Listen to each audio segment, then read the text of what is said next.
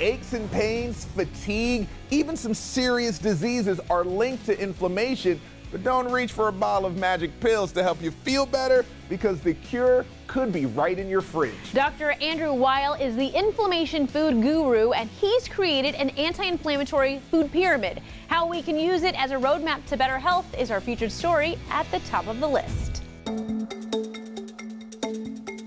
Inflammation is regularly linked to health problems, and many of them are serious. But there are ways to take control of your body, and one of them is through food. If you're looking for a guide to anti inflammatory foods, the Anti Inflammatory Food Pyramid created by Dr. Andrew Weil is the place to go. Anything that you eat on this pyramid is going to help reduce inflammation chronically in your body. We teamed up with nutritional specialist Will Armijo to learn what foods and how much of them we need to follow the pyramid.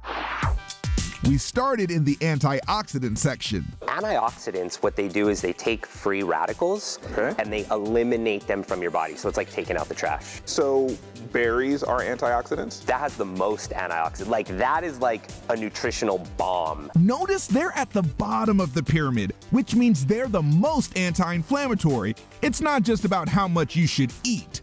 But if you are wondering how much to eat, there are recommended servings too. Three to four servings a day is ideal to pack that antioxidant punch that you're looking for. For reference, one serving is half a cup of berries.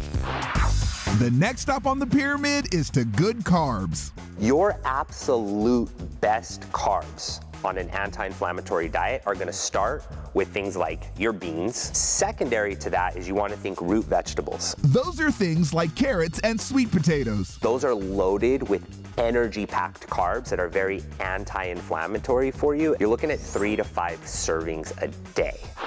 Our last stop on the food pyramid focuses on the healthy fats from omega 3s. What on this pyramid constitutes a good fat? The main thing that you need to know is omega-3s pack the biggest punch when it comes to anti-inflammatory. And what you're gonna see on this pyramid that we have here is pumpkin, avocado, and sardines. Sardines Okay. are the most concentrated form of omega-3. The pyramid recommends five to seven servings of healthy fats a day.